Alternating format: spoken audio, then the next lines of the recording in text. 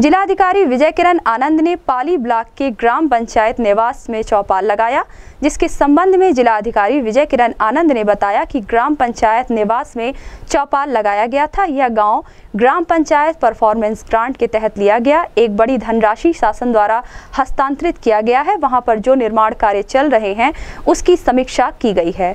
दो महीनों में कार्य को पूर्ण करके समयबद्ध तरीके से गुणवत्तापूर्वक निस्तारण करने के लिए लक्ष्य निर्धारित किया गया है।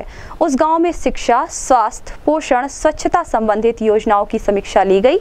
वहाँ किसानों से संबंधित योजनाओं के बारे में वहाँ के नौजवानों को कौशल विकास मिशन से जुड़ने के लिए बताया गया। खाद्य विभाग के द्वारा राशन वितरण किया जा रहा है, उसकी समीक्षा की गई। वहाँ पर सभी विद्युत, सड़क के कार्यों की भी समीक्षा की गई। प्रयास है कि शासन की सभी योजनाओं को जमीनी स्तर तक पहुँचाया जाए, जिससे कि हर व्यक्ति को योजनाओं का लाभ मिल सके। इस संबंध में गोरखपुर न्यूज़ से बात करते हुए जिलाधिकारी विजय किरण आनंद ने कहा। नागरिक आपके गाँव में एक हज़ार बत्तीस शौचालय का निर्माण पिछले पाँच वर्षों में किया गया है। जिसमें से तैतीस शौचालय का निर्माण अभी स्वच्छ भारत मिशन फ़ेज़ टू में किया जा रहा है, ताकि कोई भी व्यक्ति खुले में शौच करने न जाए। क्या आप लोगों को शौचालय मिला है? जिसको मिला, कृपया हाथ खड़े करें।